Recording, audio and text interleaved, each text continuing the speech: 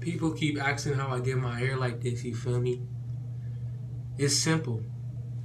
See, this how long my hair is right now. Loki go past my nose. You feel me? And people wonder how I get my hair like this. It's easy. All you need is a sponge, some type of uh, products for your hair.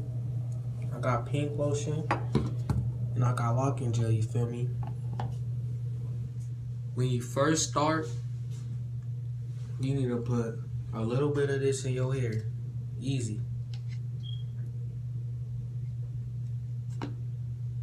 Then you want to rub it in. And you get the sponge, boom, twist it. Use the sponge all day. I don't use this sponge no more, you feel me? Because my hair already locked. But you want to use this sponge all day. When you bored, when your hands tired, you don't gotta use it no more. And then when you bored, just twist your hair. Boom. Just twisting it. And if you think it's too fat, you just grab a part that you think is too fat, rip it. Boom. Just rip it all around. Easy. Just rip it. Then you can see my tips already died. It's easy. I'm gonna give y'all see how we look. Project walls can talk.